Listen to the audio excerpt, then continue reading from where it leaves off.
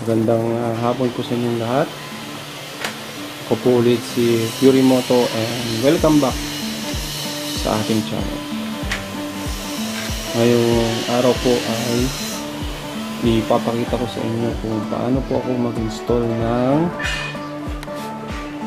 dual disc horn saka ng mini driving light sa ating uh, Fury 125 kasama po pala yung uh, three-way switch.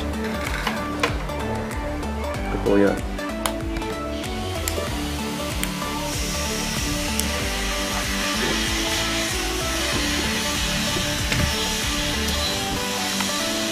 uh, dito ko po ini-install yung dual disc.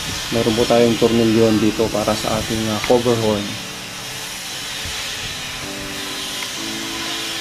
Kabilaan po yan tinutornilyo ko tapos sa wiring po nito uh,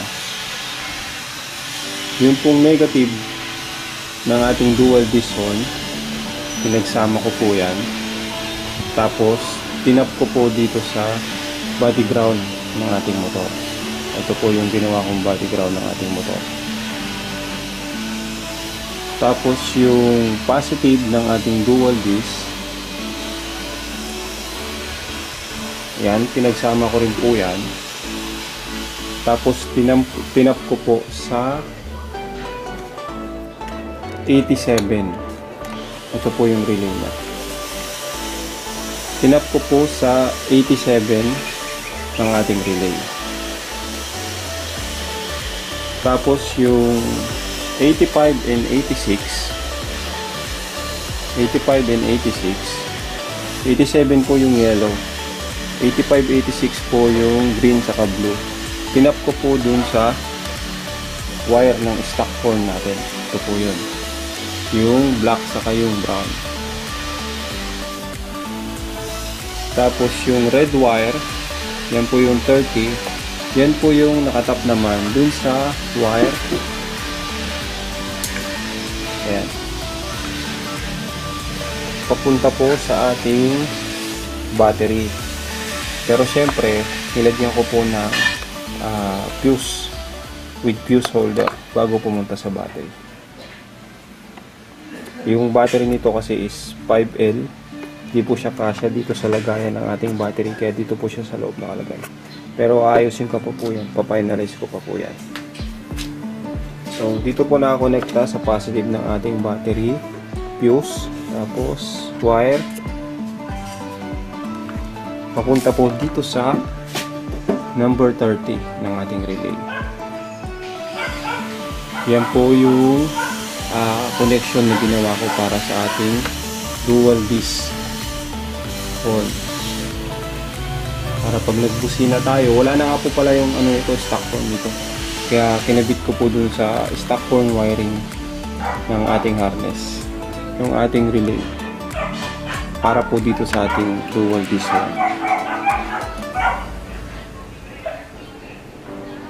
Ah, ito po yung tunog niya kapag ka naikabit na po natin. Ignition on naka-neutral po tayo.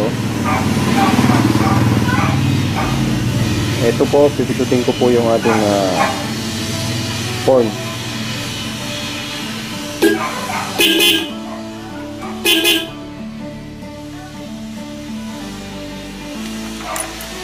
ganun po kalakas yung tunog ng ating dual horn na in-install dito sa ating uh, Pure Water Fire.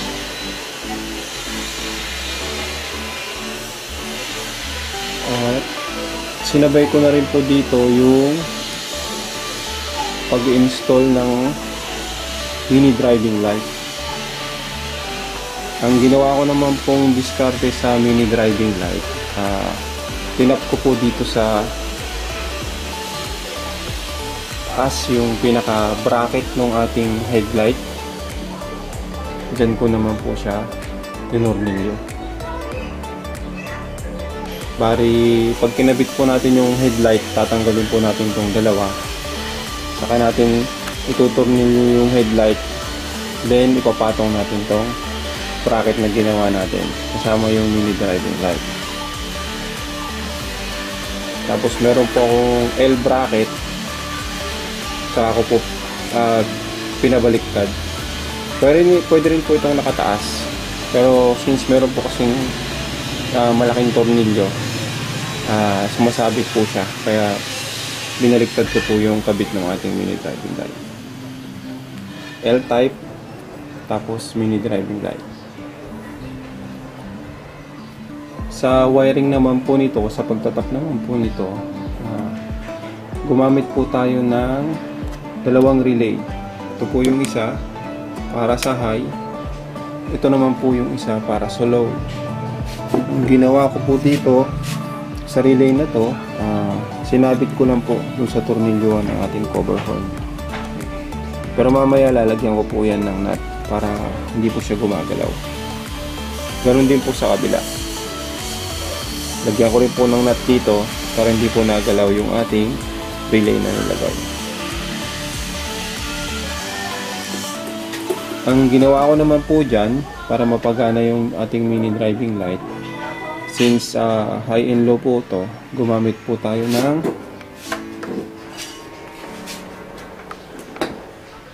three-way switch. Ito po yung low. Yun yung high ito po yung off gitna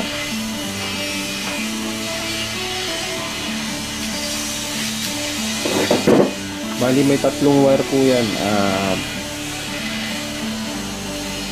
blue, brown, saka black. Yung black po yung gitna, yung blue yung low, yung brown po yung high.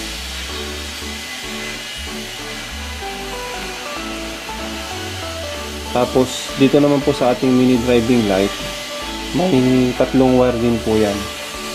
Isang black, isang red, saka isang yellow. Yung red po yung white sa ilaw niya tapos yung yellow naman yellow yung ilaw niya ganito po yung ginawa nating connection ng ating mini driving light sa dalawang relay at saka dun sa ating uh, three-way switch itong isa pong relay natin uh, una-una pala pinagsama ko yung uh, dalawang black pinagsama ko dalawang block ng relay. Yun yung, yun yung ground. Tapos tinap ko po dito sa body ground na ginawa natin. Then yung dalawang red pinagsama ko rin po. Tapos yung dalawang yellow pinagsama ko rin po yung dalawang red na pinagsama ko po intap po natin dito sa may relay bali ito pong red yung number 30. Ito pong blue yung uh, ah, 87. Tapos yung white ito po yung papunta sa switch. Tapos yung green yung ground. Ganun din po sa kabila. Red papunta sa 30, papunta sa battery yan. Tapos yung blue papunta sa mini driving light. Yung green ground yung white sa switch. Yung binanggit ko po kanina, yung dalawang red, pinagsama po natin. Tinap po natin dito sa blue ng ating uh, isang relay. Tapos yung ground nga po, tinap po natin dito sa body ground. Then yung red, tinap din po natin dun sa wire kung saan natin tinap yung uh, dual disc. Bali yan. Tinap din po natin. Tapos yung white wire, tinap naman po natin dun sa ating uh, three-way switch sa red, yung pinagsama natin na red. Tapos dun naman sa high, yung dalawang yellow na pinagsama natin dito, tinap naman po natin dito sa number 87 o blue ng pangalawang relay natin. Tapos yung white naman, papunta dun sa switch na kulay brown. Kasi ito yung high. Tapos dito naman, yung white na tinap natin sa kulay blue ng ating uh, three-way switch para naman dun sa low. I pupost ko po yung video na to, yung diagram ng ating mini driving light para masundan nyo po yung pag-connect o pagtatap niyan sa ating dalawang relay. Ganon din po yung uh, diagram ng pagtatap ng dual disc. Ipopost ko rin po dito sa video natin. Uh, ito po yung result ng uh, ginawa natin sa mini driving light. Ignition on. Tapos dito tayo sa low. Umilaw na po yung white. Tapos, pindutin natin yung high. Umilaw naman po yung dilaw. So, ang ginawa natin dito, since baliktad po yung ating uh, mini, mini driving light, dapat ang standard kasi nito yung yellow ang low, yung puti yung high. Pero since nakabaliktad po yung ating mini driving light, pinaliktad din po natin yung connection dito sa ating uh, relay tsaka sa switch. Yung low po niya ang white, yung high po niya ay yellow.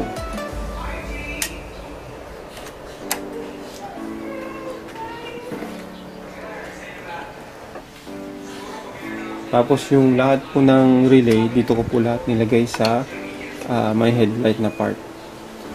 Uh, mamaya lalagyan ko po ito ng uh, ng uh, glue para hindi po pasukin yung ating mga relay. Papakita ko po itsura nito mamaya pag naka-install na yung ating headlight. Again, yung source ng ating mini driving light at dual disc horn isa lang ito lang po itong wire na to papunta sa fuse then positive ng ating battery isang source lang po yung pinagkagitan ko niya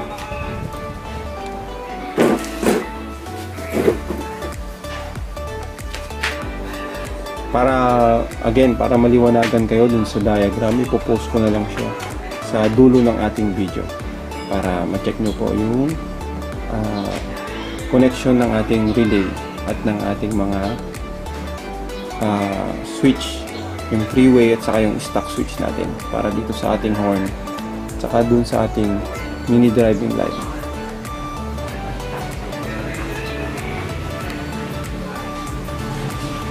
I hope uh, meron na naman po kayong uh, natutunan ngayong araw na to. And next time magpo-post po ulit ako ng iba nating ginagawa. O ibang diskarte naman sa pag-install ng ating mini driving light. And yung dual disc horn or yung MOCC horn which is na-post na natin ng nakaraan maraming salamat po and thanks for watching